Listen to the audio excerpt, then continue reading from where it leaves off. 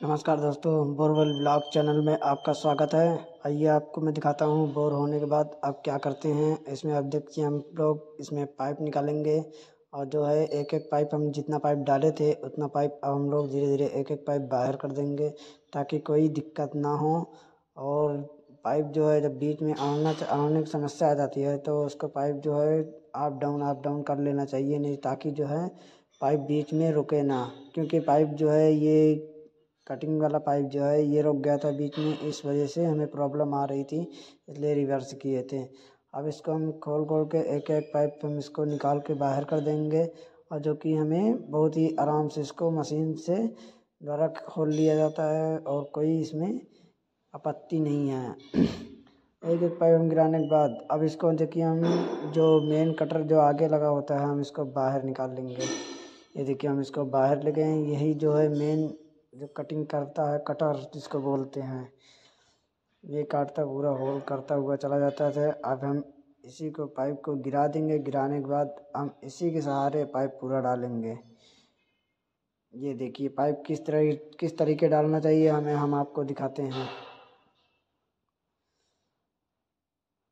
ऐसी गलती आप मत कीजिए कि ऐसा हाथ से रोकने का प्रयास मत कीजिए, क्योंकि पाइप जो है बहुत भारी हो जाता है जाते जाते, लोड बहुत ज़्यादा आ जाता है, इसलिए आप जो है इसको जो है सरल तरीके से इसको बाँध वगैरह लेना चाहिए ताकि हमें कोई आपत्ति ना हो। नहीं तो किसी भी प्रकार का धोखा हुआ तो ये गिर भी सकता है। अब हमें इसमें देखिए, अब ये लड़का जो आएगा, अब देखिए ये देखिए रस्सी बाँध लेंगे रस्सी हमें वो खूंटा गांठ ही लगाना चाहिए, जिसको कहते हैं फन फांसी का फंदा।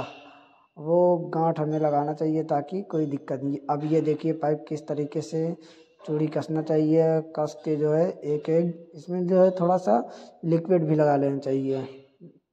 जैसे आपके पास मोबिल हो या तो शैम्पू हो या निरमा हो, हम तो स्थायी रूप से हम तो इसमें ग्रीस लगाना ही पसंद करते हैं क्योंकि ग्रीस जो है बहुत सही रहता है।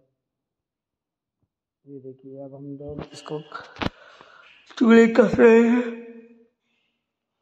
कसने के बाद अब हम लोग को क्या करना चाहिए? अब देखिए, एक पाइप, एक बंदा पकड़ के इसको आसानी तरीके से इसको आराम से एक एक पाइप, एक एक पाइप हाथ से उतार देगा। क्योंकि ऐसा लापरवाही हाथ से कभी ना करें। आप देखिए किस तरीके से पाइप बहुत ही आसानी तरीके से चूड़ी चढ़ा देना चाहिए ताकि फटे ना। इसमें जो है, ग्रीस लगाइए, आप ग्रीस लगाइए, ग्रीस जो है बहुत बेहतरीन ही काम करेगी। क्योंकि एक एक पाइप आराम से ग्रीस द्वारा चढ़ा दी के एकदम निकाल लिया जाता है।